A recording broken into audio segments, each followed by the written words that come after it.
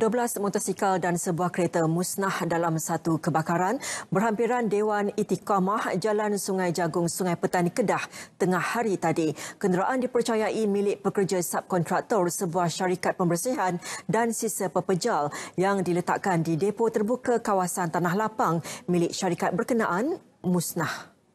Kesemua motosikal terbabit mengalami kemusnahan 95%, manakala kereta 15% musnah.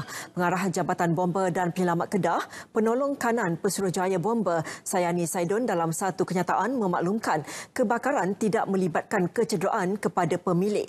Anggota bomba bertindak memadam kebakaran selepas menerima panggilan pada pukul 12.16 minit tengah hari. Punca kejadian dan jumlah kerugian sedang disiasat.